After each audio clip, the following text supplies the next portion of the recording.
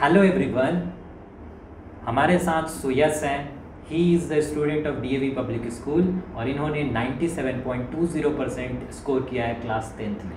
ठीक है? तो चलिए पहले इनका इंट्रोडक्शन ले लेते हैं कि सुयस अपने बारे में कुछ बताओ ऑडियंस को। हाँ मेरा नाम सुयश मुंडे है और मैं नाइन टेंथ के लिए अग्रवाल क्लासेस ज्वाइन किया था और स्कूल डीएवी पब्लिक स्कूल था and I have just passed out and I am now presently studying in eleventh standard ठीक है?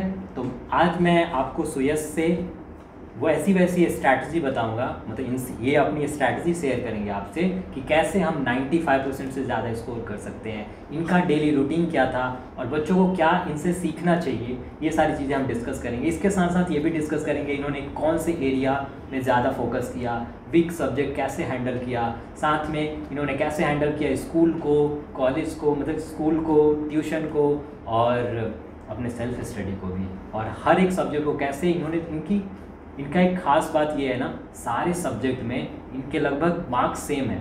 मतलब वैरी नहीं किया, क्योंकि कुछ बच्चों के मार्क्स ज़्यादा वैरी करते हैं लाइक मैथ्स में बहुत ज़्यादा साइंस में थोड़ा कम साइंस में ज़्यादा, या फिर एस में थोड़ा कम। बट इन्होंने सारा बैलेंस करके रखा है। तो ठीक है स्टार्ट करते हैं। तो सुयस आपने कैसे ऐसा प्रिपरेशन किया कि आपने 97.20 परसेंट लाया? मतलब ऐसा क्या किया?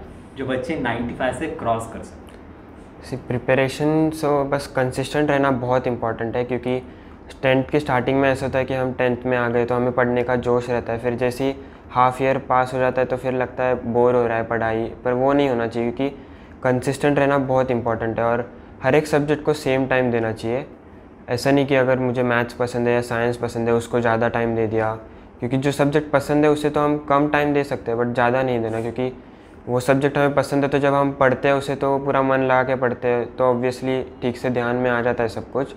बट जैसे कोई कोई मोस्टली टेंथ में तो सबको एस एस टी हार्ड जाता है। तो एस एस टी में ऐसा है कि स्टोरी की जैसे पढ़ना चाहिए और लर्न लर्न इतना नहीं बट बाय हार्ट पढ़ेंगे तो फिर वो स्टोरी जैसे समझ जाता है, क्योंकि मेनली हिस्ट्री रहता है सब कुछ इसलिए। हाँ तो आप आप कैसा मतलब रेट कैसे करोगे? लाइक अगर आप परसेंटेज डिवाइड करना चाहते हो कि सेल्फ स्टडी आपके प्रिपरेशन में कितना रोल प्ले किया और ट्यूशन ने कितना किया स्कूल ने कितना किया, इसके बारे में बताएँ कुछ।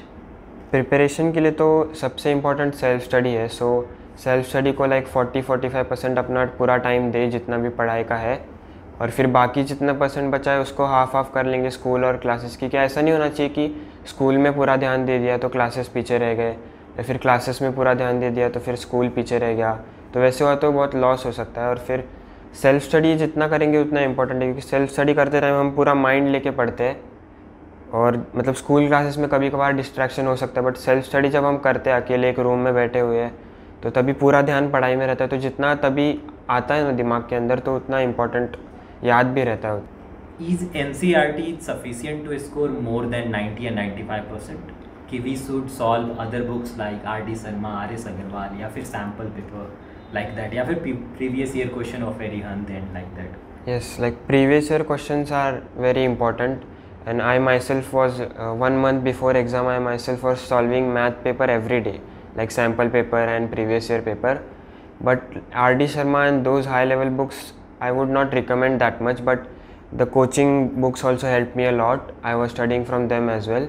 And ncrt is sufficient to get you like 90 95 percent but if you want to go above that then some coaching books and sample papers previous year are must for getting 95 above percentage.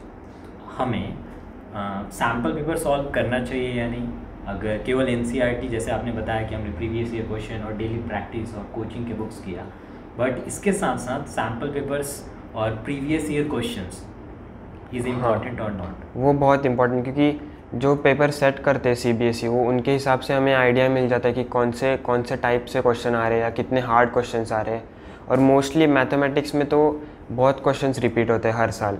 तो अगर हम previous year question करेंगे और sample paper जितने like हर year नया sample paper देता है सी की इस हिसाब से हम क्वेश्चन पूछेंगे तो वो करना बहुत इंपॉर्टेंट है क्योंकि उससे हमें एक आइडिया मिल जाता है कि हमें कौन से लेवल तक पढ़ाई करनी है और कितने हार्ड क्वेश्चन हम एक्सपेक्ट कर सकते हैं। जैसा आपने बताया कि हम मैथ्स के क्वेश्चन रिपीट होते हैं बट व्हाट अबाउट एसएसटी हमें सोशल स्टडीज़ को कैसे हैंडल करना चाहिए? क्या सैंपल पेपर करना चाहिए? अदर कुछ अदर देन एन या फिर N is enough for social studies social studies ये हार्ड लगता है बट एक्चुअली क्वेश्चंस जैसे मुझे लगता है कि इसके लिए कुछ रेफरेंस बुक की इतनी ज़रूरत नहीं है। बस हम अगर एन से करेंगे और लाइक एक रेफरेंस बुक लाइक कोचिंग की बुक भी इनफ है, उससे अगर हम क्वेश्चंस देखते रहे क्योंकि social studies like question answers दिए रहते हैं टेक्स्ट बुक में itself you we have to read it and then अगर हम याद कर पा रहे हैं उतना तो फिर हो जाता है। और अगर समझ के याद करें तो और हेल्प हो जाती है याद करने में। सोशल स्टडीज़ में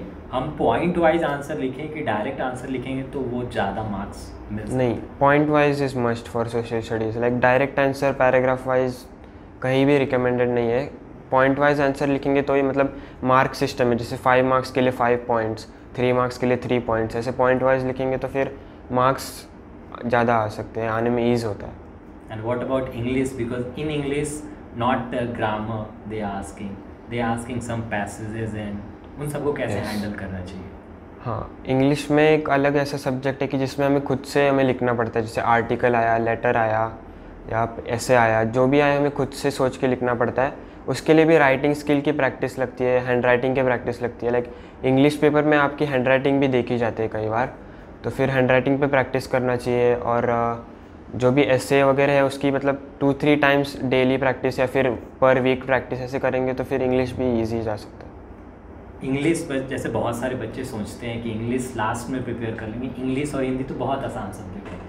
क्या ऐसा करना चाहिए? तुम रिकमेंड करोगे या नहीं, वैसे मतलब हर एक बच्चे का अलग रहता है। किसी को अगर मैथ बहुत ईजी जाता है तो वो सोचता है कि लास्ट के पाँच दिन में मैथ कर लूँगा।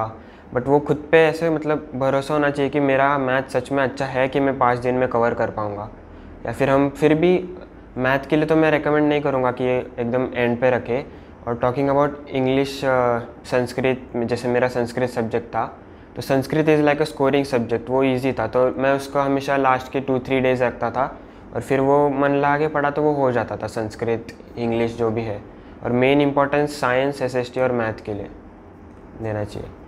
और जैसे कि टाइम मैनेजमेंट की बात लाइक अगर हमें मैथ्स के क्वेश्चन सॉल्व करने के और प्रैक्टिस करना है या फिर टाइम देख के एक आ, हमें टाइम स्लॉट डिसाइड करके मतलब कैसे within a time frame जैसे तीन मिनट में एक क्वेश्चन होना चाहिए ऐसे करना चाहिए या फिर रैंडमली आप सॉल्व कर दोगे पेपर उठा के लाइक रैंडमली नहीं पेपर जब भी सॉल्व कर रहे हो तो लाइक थ्री आवर्स का पेपर रहता है एटी मार्क्स का। तो थ्री आवर्स लगा के आप ट्राई करो कि टू आवर्स थर्टी मिनट्स में टू आवर्स फोर्टी मिनट्स में हो जाए। तो वो एक ट्वेंटी मिनट्स एक्स्ट्रा आपके पास एडवांटेज रहता है कि कोई ज़्यादा ही हार्ड आ गया क्वेश्चन तो आप उसके लिए टाइम दे पाए वो ट्वेंटी मिनट्स में से।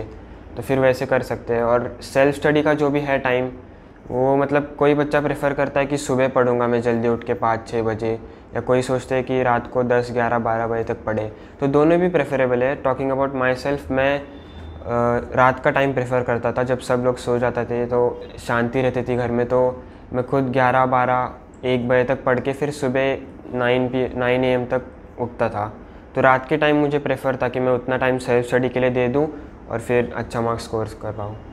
टेस्ट सीरीज़ का क्या रोल है? अगर आप कोई बंदा या कोई स्टूडेंट ज्वाइन करना चाहता है कोई टेस्ट सीरीज़ क्योंकि घर में तो ऐसा माहौल नहीं मिल पाता जो टेस्ट हाँ। का माहौल होता है। तो उसके लिए कोई टेस्ट सीरीज़ ज्वाइन करना चाहिए क्लासेस जैसे कि अग्रवाल ने भी टेस्ट सीरीज़ कराए होंगे। हाँ हाँ तो टेस्ट सीरीज़ इज़ बेनिफिशियल और not yes test series are totally beneficial like अगर हम खुद से डिसाइड करते हैं तो कंसिस्टेंट नहीं रह पाते कि रोज़ एक सैंपल पेपर कर लेंगे हम सोचते कल कर लेंगे आज मूड नहीं है ऐसे बहुत सारे एक्सक्यूजेस आते हैं। बट अगर हम किसी टेस्ट सीरीज़ में स्पेसिफिकली जा रहे हैं तो वो उनकी ड्यूटी होती है, हमसे करा लेंगे हर हर दिन, हर एक वीक टाइम टेबल के अकॉर्डिंग तो फिर मैंने खुद अग्रवाल के टेस्ट सीरीज़ दिए थे तो उससे भी मुझे बहुत हेल्प मिली।